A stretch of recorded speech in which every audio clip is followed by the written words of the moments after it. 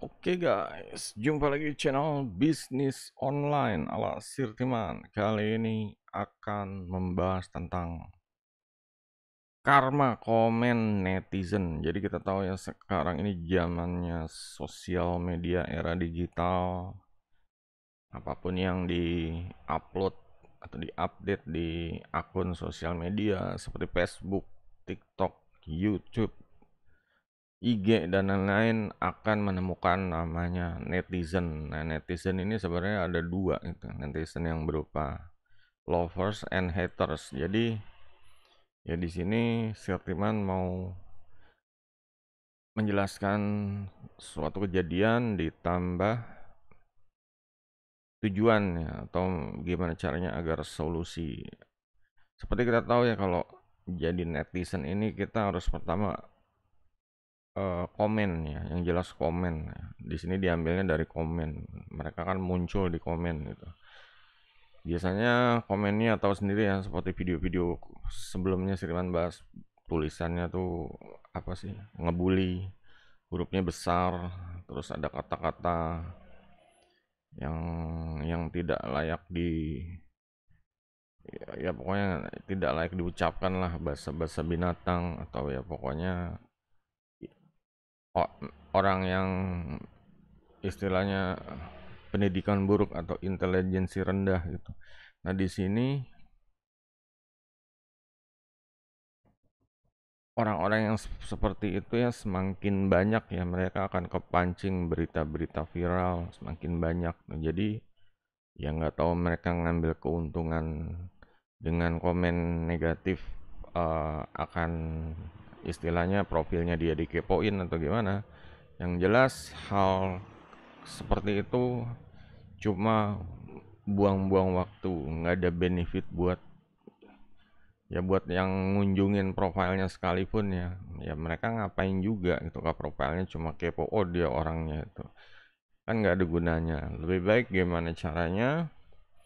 Ya agar uh, ya apalagi ya dalam ya apalagi kita punya etika gitu. Etika dalam berhubungan sosial gitu. Istilahnya kalau ya kita melakukan sesuatu yang baik akan mendapatkan istilahnya umpan balik atau hasil yang baik. Kalau kita melakukan sesuatu yang kurang baik kita akan mendapatkan kurang baik seperti karma atau kutukan gitu. Ya jelas saja kalau komen di channel orang gitu.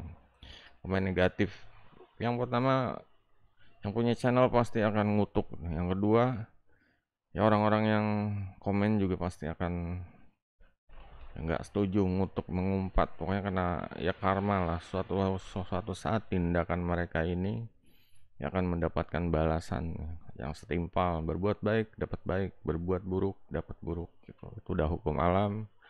Jadi ini yang harus di diperjelas, diluruskan gimana caranya agar netizen yang istilahnya udah brutal seperti itu ya bisa tobat gitu.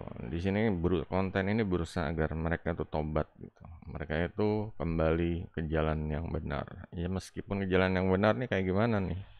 Di sini Sultiman mencoba ya melakukan hal yang yang positif lah ya, yang positif, uh, positif dan berguna, ya, bermanfaat untuk istilahnya personal brandingnya dia. Jadi jangan hancurkan ya.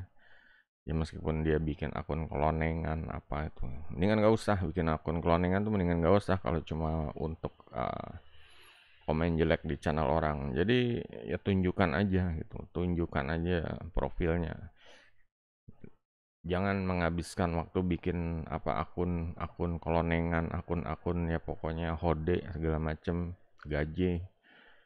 Mendingan fokus bikin akun personal branding yang ya, untuk kepentingan ininya ya uh, bisnis usaha atau istilahnya cari makannya gitu loh. Nah di sini Sherman mengajak ya untuk para netizen yang udah kebiasaan ya negatif thinking kembali ingat karma tadi kedua lakukan hal yang baik gitu ngelakuinnya kayak gimana kalau misalnya kita nonton ya nonton suatu video atau pokoknya VT TikTok atau ya pokoknya gambar di IG gitu. Di sini yang jelas yang jelas yang pertama jangan pakai akun kelonengan ya itu hapus-hapusin aja jual aja jadiin duit gitu. Yang jelas pakai personal akun personal branding ya akun yang benar-benar dipakai buat bisnis. Dan berusaha untuk kasih komen yang uh, di sini di sini ada opsi ya. Jangan ambil opsi yang jelek gitu. Biasanya orang akan pertama ngejek tanpa sebab ngebully tanpa sebab. Kedua ngajak debat. Itulah yang yang ketiga ini yang Siriman yang disarankan. Yang ketiga ini adalah uh, istilahnya uh, sebagai bait atau pancingan ya. Bait bait ini kayak BAIT ini kayak pancingan. Pancingan agar orang ini berkunjung ke profil kita dengan cara yang baik gitu. Ya, pancingannya kayak yang pertama kita tonton gitu. Kalau videonya bagus orang udah banyak kasih uh, apresiasi. Kita tonton kita ambil poin-poin pentingnya.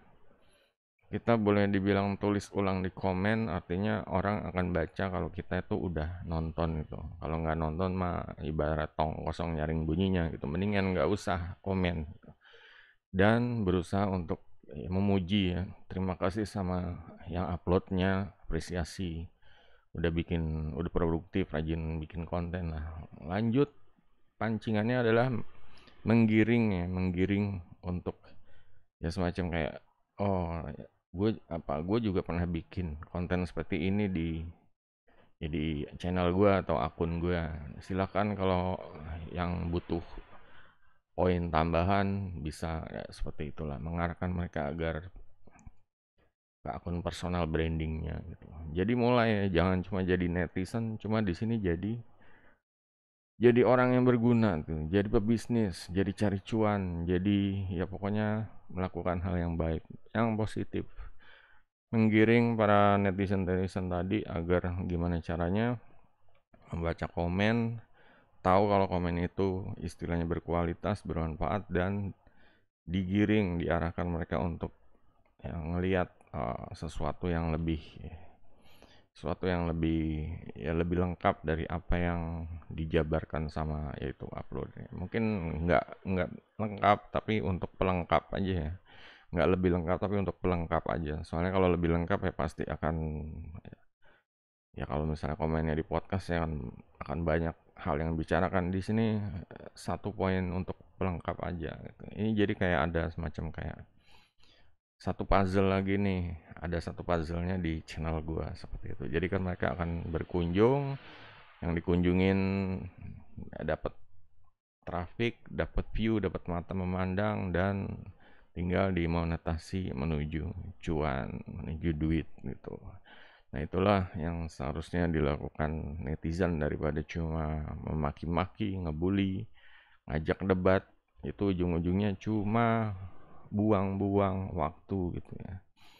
Nggak dapat apa-apa, dapatnya cuma apalah dongkol doang kalau kayak gitu ya. Ya kalau ya debat kayak gitu kan yang ada darting doang dapatnya lebih baik melakukan yang tadi ya berusaha untuk nonton video pertama kedua ambil poin yang satu poin juga nggak apa-apa ambil poin yang dibahas dan ketiga istilahnya kalau ada yang mau